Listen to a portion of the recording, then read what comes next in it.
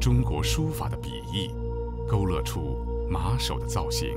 徐悲鸿的马是前所未有的，把文人画的水墨表现融合到动画里面去，以西方素描的结构方式，描绘出马的躯干，又不失中国画的神韵。它就是既保留了文人画的非常有意思的一些笔墨意趣，同时又有了西方相对比较严谨的造型方式。这样的画法，古今画马者独此一家。大笔挥洒中，骏马脱缰而出，奔腾向前。他从来画马不是为画马，它是一种精神，一种时代的声音。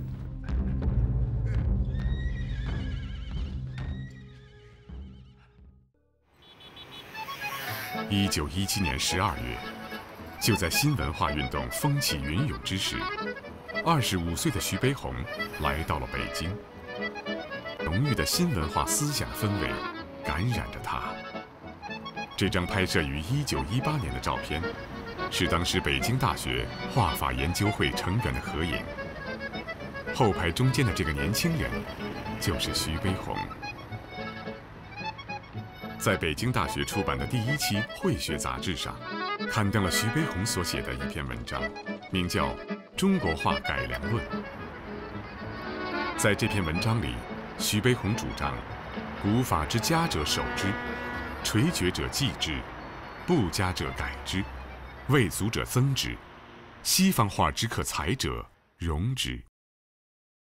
的意思就是说，老祖宗留下的好的东西，我们继承它。守之坚守，垂绝者要要衰亡的东西，我们来继之，把它重新继承起来，啊，不足者增之，来增加它。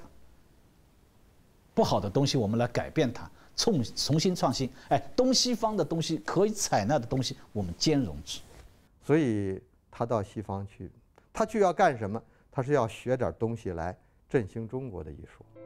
他不是为了去到西方成为一个西方画家，到西方去混，不是要全盘的接受西方的审美标准，他是要创造出中国的一种新的复兴起来的艺术。因为当时的中国是那么一个历史背景，中国走什么路，政治上走什么路，国家走什么路，艺术走什么路，是摆在每一个关注。人生关注社会的艺术家必须思考的问题。徐悲鸿从来不是为艺术而艺术，他就是要主张现实主义，而现实主义是为人生而艺术。他就是要贯彻他的一个理想，这个理想就是好的画一定是写实的。最主要的还是表他是关心啊民族的灾难、民族的疾苦，他是以这个为他的啊终身所奋斗的目标。一九二八年，日本军队制造了济南惨案，屠杀中国军民近万人，震惊国人。徐悲鸿按耐不住心中的悲愤，开始创作巨幅油画《田横五百世》。这是他留法归国后第一次用所学的西洋油画技法表现中国的大型历史题材。他干嘛要选这个题材？因为这是中国。最重要的精神的代表，就是孟子所说的：“富贵不能淫，贫贱不能移，威武不能屈，此之为大丈夫。”他就要要画这张画，表现中国人，表示中国的精神，表现中国艺术家的水平。整个抗日战争期间，徐悲鸿拿起画笔，创作了《放下你的鞭子》。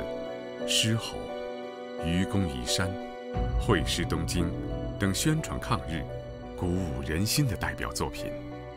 与此同时，他南下辗转于东南亚、印度等地，四处奔走，举办画展，为抗战募捐。Xu Beihong's art actually, in a way, bridged the two cultures.